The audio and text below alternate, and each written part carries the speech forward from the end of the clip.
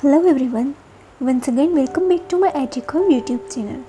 Today here in this full video we will see how to enable fast haptic touch on iPhone with iOS 17. So iOS 17 now allows you to enable a new fast setting for haptic touch on iPhone.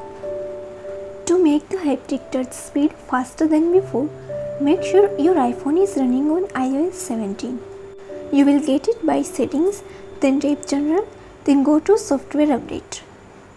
Now to enable fast haptic touch, open the settings app on your iPhone.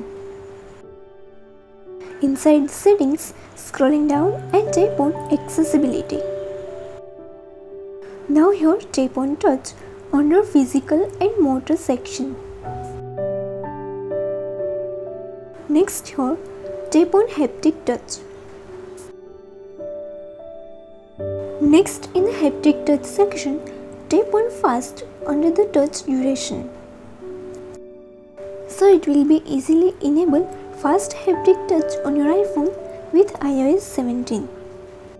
Now you can test how fast the new response time is by long pressing on the flower image inside the touch duration test section.